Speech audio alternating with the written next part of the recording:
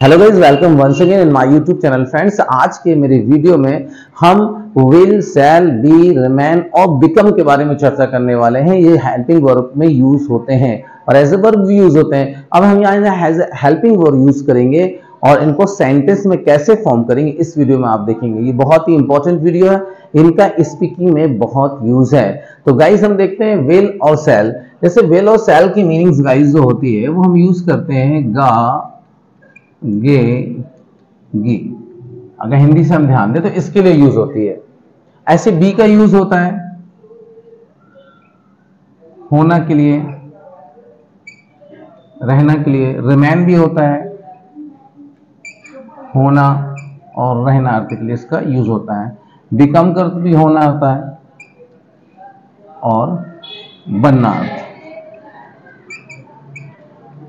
B का अर्थ भी बनना होता है।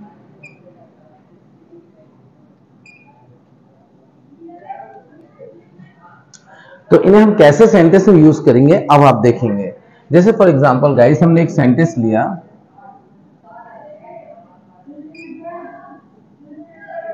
वह मुंबई में होगा।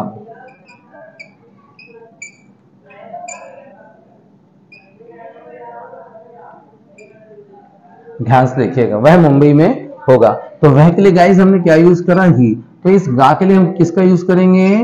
विल का ही विल और होना लिए क्या यूज़ करेंगे? बी तो he will be he will be वह होगा।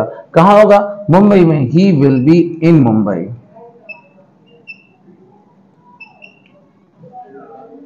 He will be in Mumbai. जैसे नेक्स्ट एग्जांपल देखते हैं।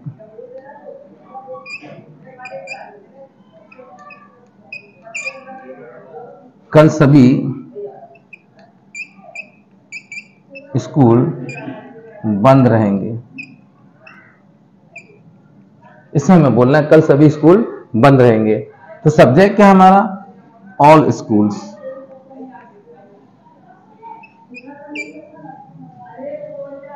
गा के लिए क्या का यूज़ करेंगे इस विल का। ऑल स्कूल्स विल रहना अर्थ यूज़ करते हैं हम be all school will be बंद के लिए क्या यूज़ करेंगे हम? Closed all school will be close सारे स्कूल बंद रहेंगे। सभी स्कूल बंद रहेंगे। कब बंद रहेंगे? ये हमारा टाइम है tomorrow all school will be close tomorrow तो गाइस इस विल बी की हम रिमेन भी लगा सकते हैं। All school will remain close tomorrow तो ये सेंटेंस हमारा ऐसा भी हो सकता है। All schools will remain close tomorrow चाहे हम बी का यूज़ करें, चाहे रिमेन का। लेकिन हम बी का यूज़ वहाँ बिकम का यूज़ वहाँ करते हैं जब हालात बदलते हैं। फॉर एग्ज़ाम्पल आप नाराज़ हो रहे हैं। आप नाराज़ हो रहे हैं। तो आपके लिए क्या यूज़ करेंगे गाइस हम? यू का।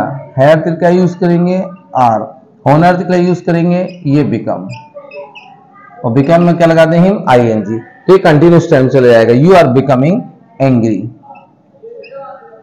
तो एज ए वर्बी हम इसका यूज़ करेंगे। तो गाइस इस हम बी रिमेन और बिकम का विल के साथ यूज़ कर सकते हैं। बहुत ही इंपॉर्टेंट यूज़ है, इसे आप अंग्रेज़ी में यूज़ करके बहुत सारे सेंटेंस बोल सकते हैं और आपको इस पर प्रैक्टिस करना चाहिए।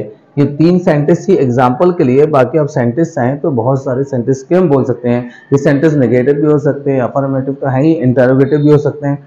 तो गाइज़ आपको मेरा वीडियो अगर अच्छा लगा तो उसे लाइक कीजिए सब्सक्राइब कीजिए, दूसरों तक शेयर कीजिए। Thank you for watching this video